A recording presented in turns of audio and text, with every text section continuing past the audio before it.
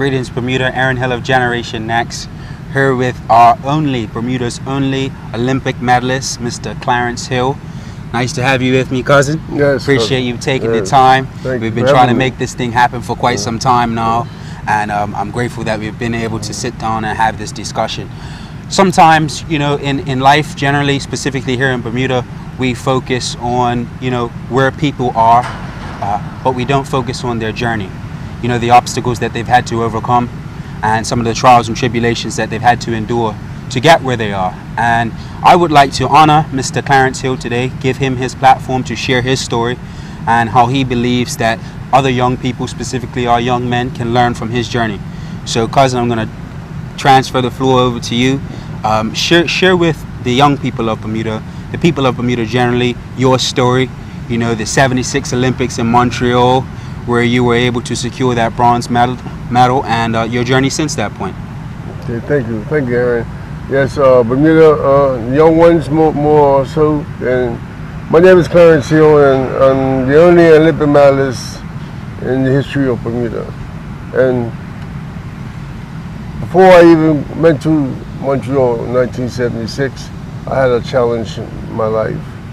I was dealing with a drug addiction, marijuana first at the time, and also dealing with home, home issues. But being the person that I am, right, I fought through it. I knew what I wanted to do concerning sports. Because I was raised in the United States, even though I was born in Bermuda, I was raised in the United States, New Jersey. I came back home to Bermuda in 1972, and then I ventured to Youth Center.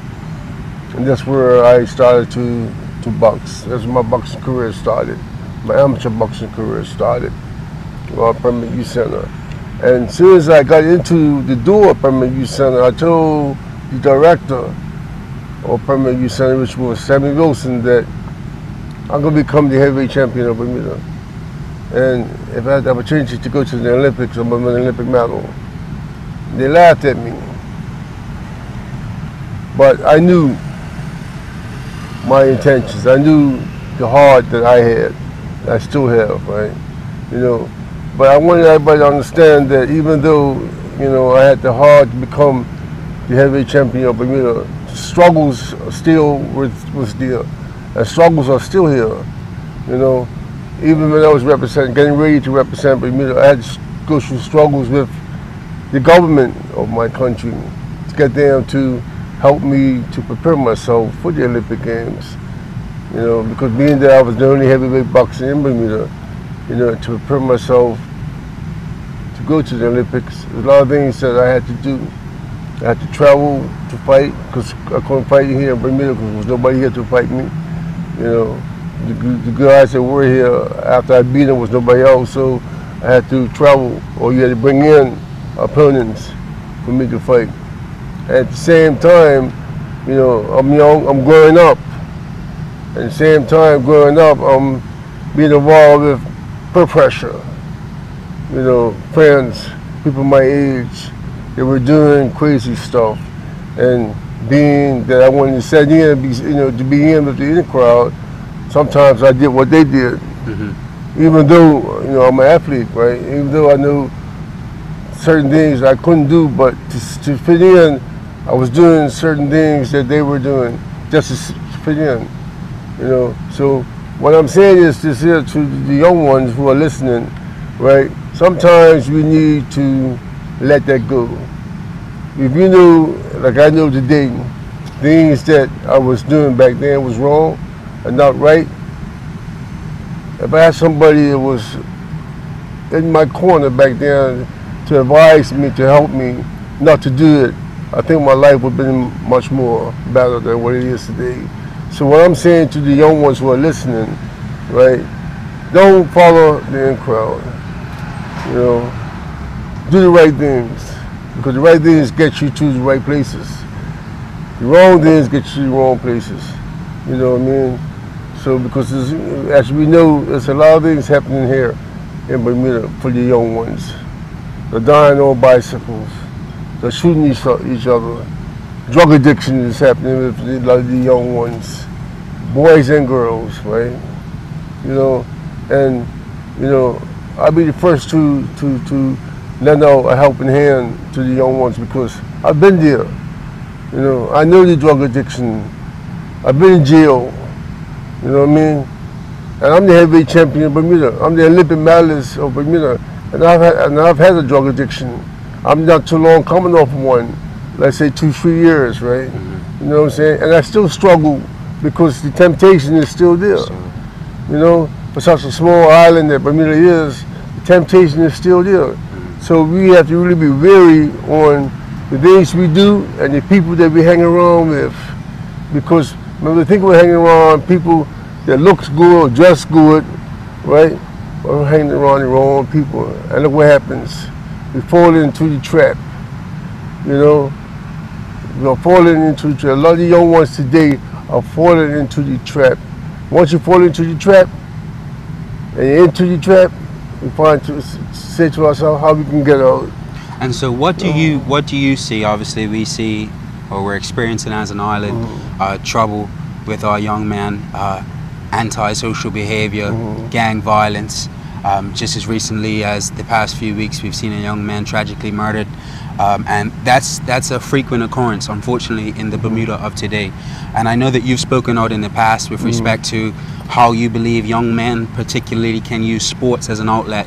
Um, can you talk about or share with the young people how you use boxing as an outlet and how you believe that, you know, as a community we can begin to, and it may not just be boxing, but sports in general, yeah. that focus? Okay, thank you. Yeah, sports in general, boxing, running, whatever, sports in general is an outlet to, to the way we do things here as a youth because they helped me, you know, because when you're into sports, track and field, boxing, it's a lot of dedication that you have to do to prepare yourself to get strong.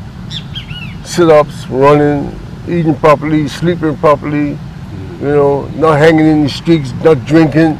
You know, it's a lot. Of, it's a, it's a lot of dedication that sports helps a young person. It helps him to dedicate himself to sports. It takes you away from your frame of mind of want to hang out in the street, want to do drugs right? Or or want to drink rum or or or just do crazy stuff, right? You know, because as I was telling you a little while back, Aaron, right? Sports helped me a whole lot because, you know, I came from a family, you know, of a brother, sister, my father, and like I said, I was raised in the States, but seemed like I was the black sheep of the family, you know, and I was I was going down the road to destruction. You know, and I was wondering what I'm going to do to come out of that feeling and that situation I found myself in. So what happened to me, I ventured into a place called YMCA. Uh-huh. It was in, was in New Jersey. I walked in because I saw boxing. And I went in and I asked the person who was the trainer, can you teach me how to box? And he says, yeah, I can teach you how to box. So I got in the ring, he taught me how to box, and trust me, that took away all that I felt about doing evil. You know, that took away that from me because I started to dedicate myself to train for boxing. Because when you start training for boxing, any sport, you, you got to sleep properly, you got to eat properly. You know, a lot of things that you, you wouldn't ordinarily do, you have to start doing it. Yes. And that's what I did. And that's what caused me to, to change my way of living in my life. No, absolutely, and I think that you've been an inspiration certainly to some of the young, up and coming, and prominent boxers that we have in Bermuda today.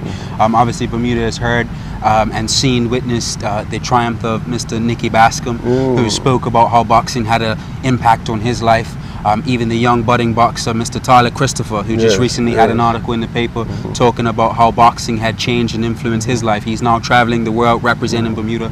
And so these are the types of opportunities that young Bermudians can uh, come to expect when they commit themselves to a craft, mm-hmm. whether it be boxing, whether it be debating, whether it be football, um, but something to take your time off of, you know, the distractions. I think you, you might classify them as. Um, but shifting more a bit to um, what we want you to be remembered for. Mm-hmm. What Bermuda, I think, I think we can concede, has failed to you know, show the, the due honor and respect to its only Olympic medalist. Um, can you talk about that journey? Yeah, uh, it's, it's it's hurtful. It's, it really feels like uh, it's a hurt. It's a pain that I go through daily. You know, to know that I have represented my country, right, with, with my heart, feeling that you know I've done something nice and, and, and to represent my country. Then to go and win an Olympic medal and then to come back and not being recognized for it.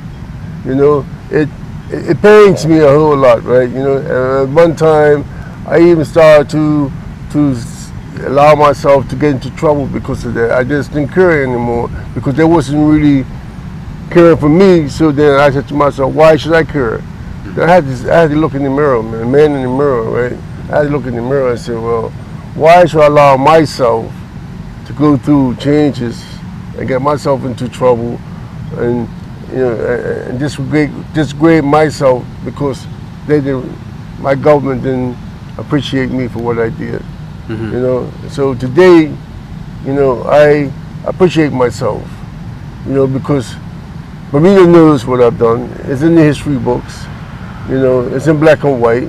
Even though I'm still feeling a little down that they see other people's uh, achievement better than mine.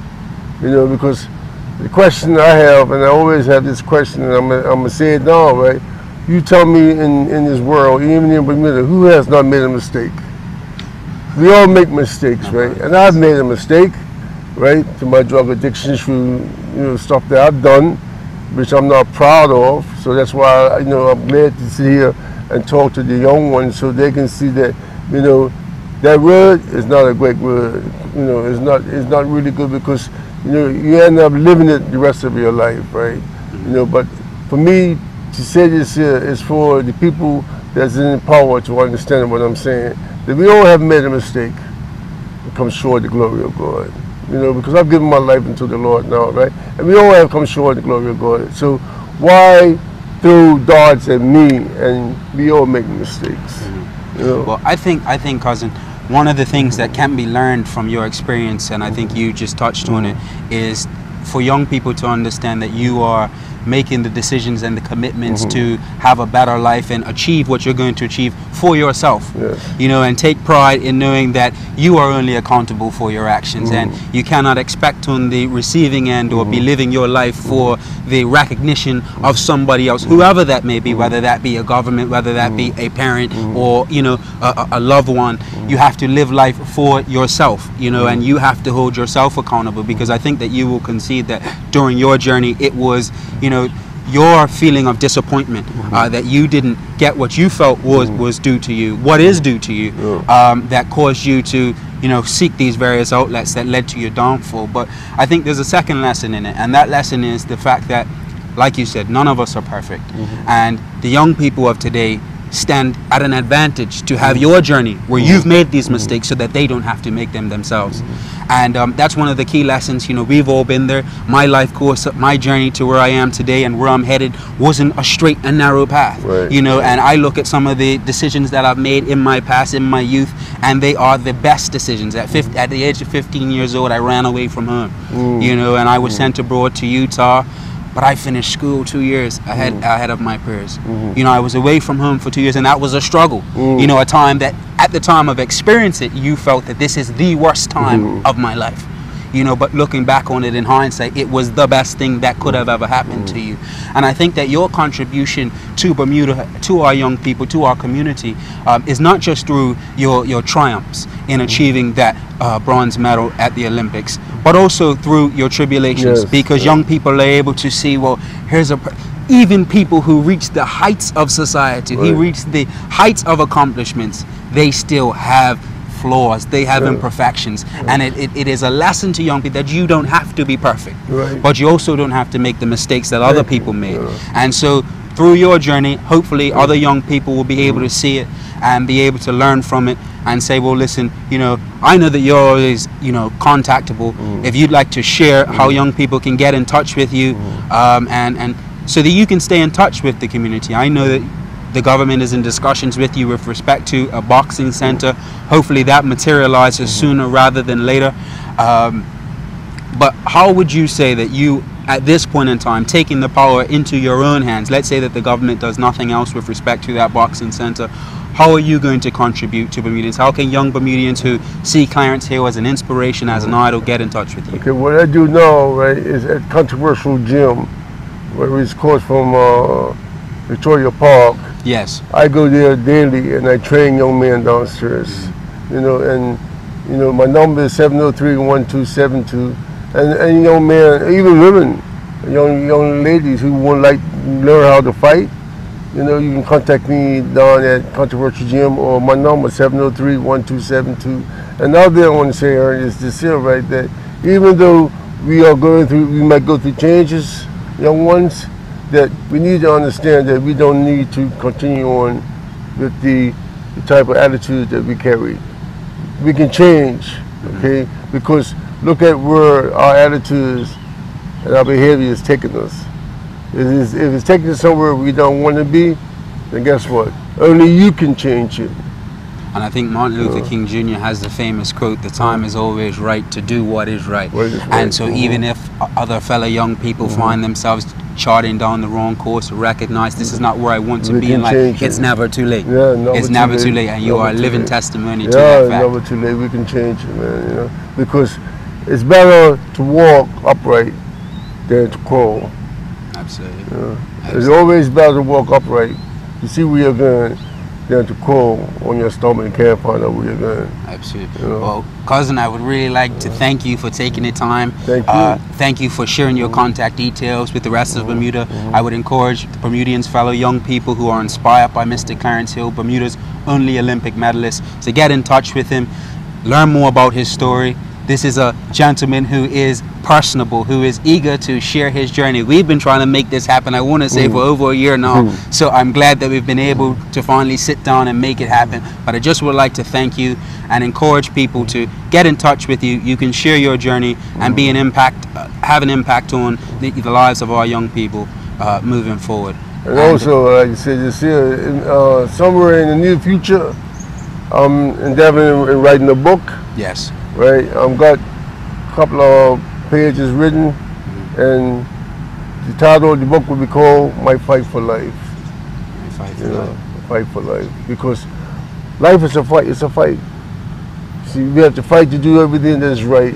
It's not easy doing what's right. It's so it's so easy doing wrong, but it's hard trying to do right. So today, I fight for life. I fight to do the right things today. You know, because I feel and I see the right things are the best things. man. Even though you might not make a million dollars in doing the right things, but uh, at least you feel comfortable with yourself by doing the right things. And there's a saying that those who don't know that life is war don't know what prayer is for. Yeah. You know, and it is a battle, Yeah, you know, yes. but that's why we're grateful to have individuals Mm-hmm. like you who are willing to contribute, you know, the various aspects of their journey that can have an impact. And I would encourage anybody who can give any assistance to Mr. Hill with respect to uh, ensuring that his book is written Mm-hmm. while he is here with us. Um, that is an important thing. As we just had that discussion, uh, cousin, is like, listen, life isn't forever. One Yeah. thing that we know is that we're not going to be here forever. No matter how old or young we are, we're not here forever. Not here forever. And it is important for Bermuda to honor our heroes, honor those who have, you know, set an example for young people who have reached those heights, who have had trials and tribulations, but have had the audacity, who have had the courage Mm-hmm. to acknowledge them and contribute back to the community. So again, cousin, I'd like to thank you. This is Aaron Hill of Generation Next with Bermuda's only Olympic medalist, Mr. Clarence Hill. Thank you. Thank you, Harry, Yes, cousin. having me. yeah.